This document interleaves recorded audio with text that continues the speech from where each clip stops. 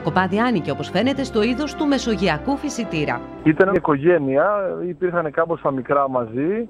Στο σύνολο που είδα αρκετά στην επιφάνεια μέτρησα 11, ενδεχομένως να ήταν βέβαια και παραπάνω, μπορεί να ήταν και 15 ας πούμε.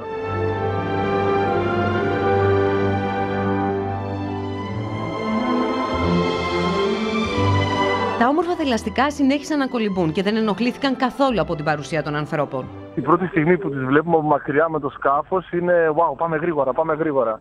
Όταν πλησιάζεις, ε, αρχίζεις και έχεις κάποιο σεβασμό προς τόσο μεγάλα ζώα. Ε, μας κάνανε τη χάρη και κάτσαν περίπου μία ώρα μαζί μας και εξοικειώνονται και αυτά και εμείς με αυτά. Οι επισκέψεις των επιβλητικών θηλαστικών δεν είναι σπάνιε στα νερά της Κρήτης. Αν και συνήθως κοπάδια φάλαινων συναντούμε στο Ιόνιο, λένε οι ειδικοί. Οι φάλαινες ακολουθούν μικρούς πλακτονικού οργανισμούς που είναι η τροφή τους. Με εξαίρεση τις όρκες που είναι σαρκοβόα, οι υπόλοιπες φάλαινες είναι μπαλαινοφόρες ή γενικά διηθούν το νερό και τρώνε και πίνουν πλανκτό. Αυτή την περίοδο, επειδή έχει καταγραφεί αυξημένη ανάπτυξη στους πληθυσμούς τους πλανκτονικούς, ήρθαν και ανατολικότερα οι φάλαινες. Μάλιστα, όπως ακριβώς και τα δελφίνια, τα συγκεκριμένα θηλαστικά είναι φιλικά με τον άνθρωπο και παρά τον όγκο τους και παιχνιδιάρικα.